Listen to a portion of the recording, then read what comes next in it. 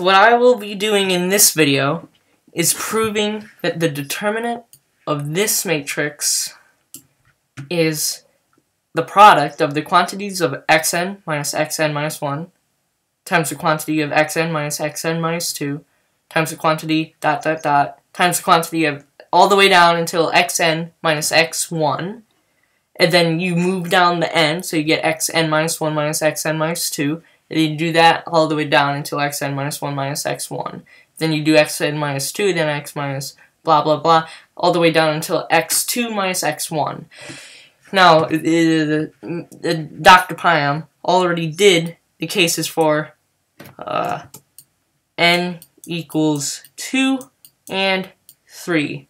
He already showed that this was true.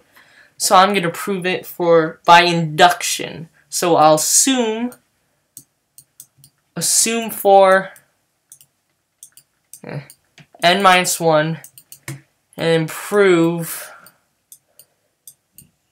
uh, n. So I'll create a new sheet and now I'll just write out the matrix x1 all the way up until x1 to the n down to xn or across xn to the n okay determinant of this let's treat this in respect to this row. So you end up getting uh, negative 1 to the n, and then determinant of some stuff, and plus negative 1 to the n plus 1. Uh, I forgot something. It's going to be an x n in there. Then an x n squared right there. Determinant some stuff. We're going to do that oh, all the way up until we get to negative 1 to the n plus n, or 2n, right? So that's, that's just 1, times x n to the n determinant, and this is important, x1 all the way up until x1 to the n minus 1, down until x n minus 1, across to x n minus 1 to the n minus 1. And we got it. Okay, and we'll treat this just replace all the xn's in this equation with a general x, and that will give us a polynomial, because in respect to xn, in this case.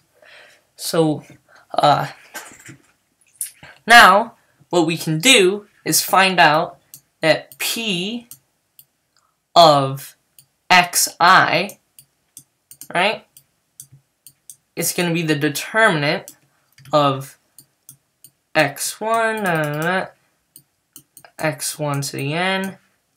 I'm going to mark xi here all the way up until xi to the n.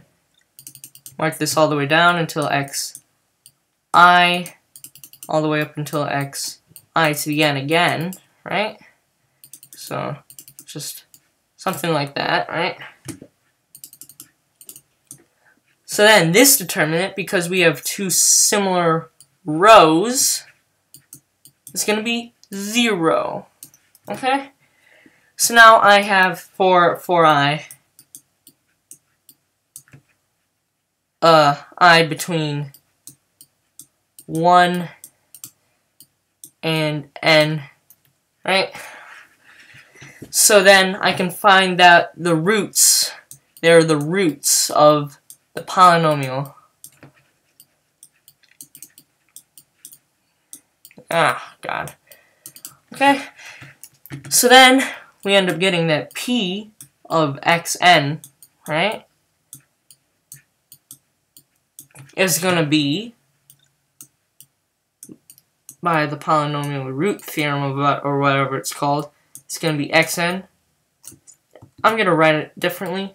xn minus x1, xn minus x2. This, this is probably a better notation here.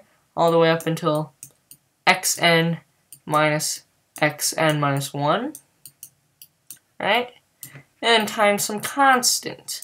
But we all know what the c is. It's going to be that right there.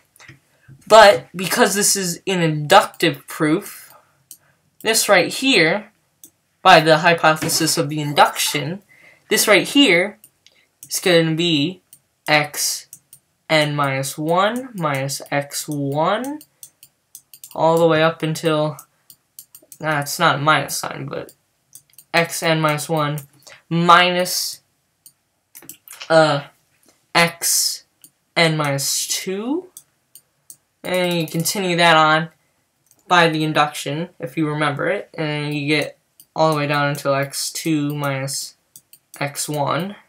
Okay? So then, right here, I'm going to write it in a very specific way. Uh, it's going to be x2 minus x1, and then we're going to multiply that by x3 minus x1, and then x3 minus x2, all the way up until xn minus x1, right? All the way up until xn minus xn minus 1. Okay? And the reason why I write it like this is because it'll be easy to represent using this product notation. So right here, we're going to have the sum from i equals uh, 2 until n. Right here, we're going to have the product from j equals I'm going to do 1 all the way up until i minus 1. Okay? So then it's going to be of xi minus xj.